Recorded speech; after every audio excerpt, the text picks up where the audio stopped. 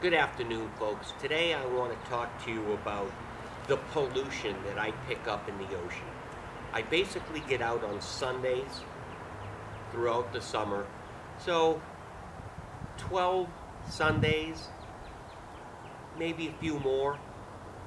And I picked up about 25 mylar balloons over the course of 2017 summer. Of course, you can see here I picked up some other stuff too. Um, and I understand stuff disappears and floats away, but I got this stand-up paddleboard, which uh, I actually gave to the harbor master, and he kept it for 30 days, and no one claimed it, so he said I could have it. So it's a little beat up, but I'm going to use it. But the Mylar balloons are an issue. They, these things wreak havoc on the environment. And everyone buys them for their kids, and they float away and land in the ocean. I try to stay away from topics like this for my channel, but I feel I have to say something. It's time to do something about mylar balloons. I see all these uh, banned grocery store bags across the country, and not once have I ever picked up a grocery store plastic bag in the middle of the ocean. But I pick up mylar balloons every time I go out. So I can't carry my groceries back to my car, but they let these things go. I mean, it's ridiculous. So I've been saving this stuff up. My wife finally said, get it out of the shed. So I'm making a quick video here.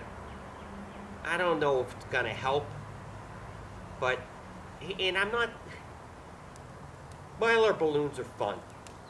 Okay, I get it. But don't give them to your kids when you know they're going to let them go and fly away. I think the law is they have to be on a, a weighted object. And when you buy them from the store, they have to come with some sort of weighted object to keep them down. It's not working. These things are horrible. They kill marine life. And I don't want to be a preacher. I don't do everything by the book all the time.